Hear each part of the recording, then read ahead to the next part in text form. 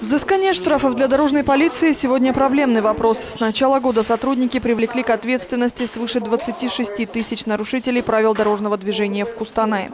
Постановлений вынесено на сумму свыше 175 миллионов тенге, а взыскать удалось 60% от этой суммы.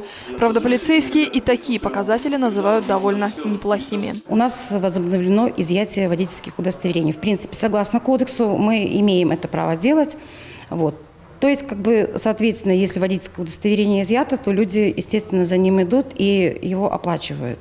Либо уже, когда они сталкиваются, допустим, в экзаменационно-регистрационном отделе.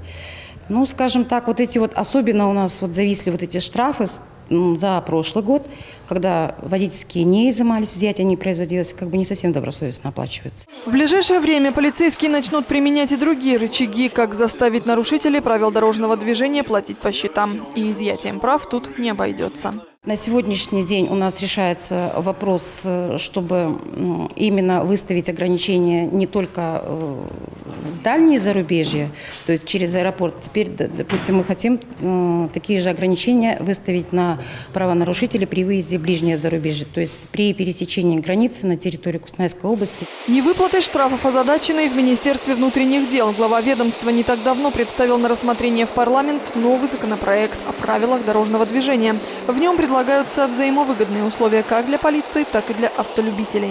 После наложения административного штрафа, если э, водители, нарушившие правила, оплачивают в течение суток, сумма штрафа э, наложенного э, сокращается на 50%, если в течение суток оплачивает водитель-нарушитель. Если в течение 7 дней, соответственно, эта сумма как бы снижается на 30%. Именно так в МВД надеются сподвигнуть нарушителей оплачивать штрафы быстро, не откладывая в долгий ящик. Правда, пока это только предложение, которое предстоит рассмотреть парламентариям после летних каникул. Александр Стаканов, Антон Корчинский, Елена Щегельская, Наталья Коптел, РТН.